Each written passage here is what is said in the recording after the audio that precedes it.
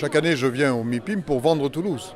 C'est important que les gens voient qu'il y a des projets à Toulouse, que Toulouse bouge, se développe et que les élus sont là pour accompagner, impulser ce développement. C'est nous qui portons les choix, les projets et donc nous devons aussi être capables de les expliquer aux investisseurs, aux professionnels pour qu'ils soient attirés par Toulouse et qu'ils aient la clé de compréhension et le sens que nous voulons donner à nos projets.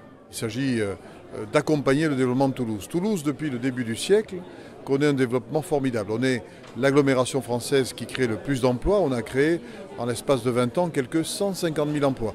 Il n'y a aucune autre agglomération en France qui en a créé autant. La conséquence de tout cela, c'est qu'il y a des besoins pour le développement économique, des besoins de, de bureaux, il y a des zones d'activité et des besoins pour l'habitat des besoins de logement, des nouveaux quartiers qui voient le jour, des infrastructures de mobilité qui se développent.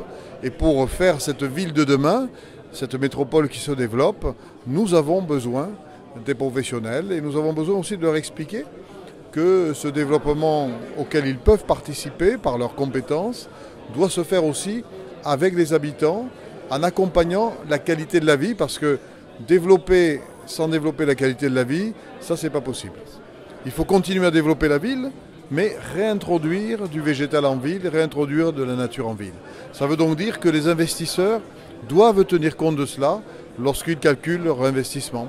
Ça veut dire que les constructeurs doivent proposer des projets qui, d'un côté, développent l'offre de logement ou l'offre de bureaux, mais concomitamment développent la présence d'espaces verts et de végétaux beaucoup plus que ce qui a pu être fait par le passé. Alors, on attire les investisseurs d'abord en leur donnant de l'information, en les accueillant, en leur disant qu'ils sont les bienvenus, euh, en leur montrant les facilités qui sont offertes à leurs projets. Il faut à la fin que nos projets collent avec leurs projets. Et donc l'échange, le dialogue, il est absolument nécessaire.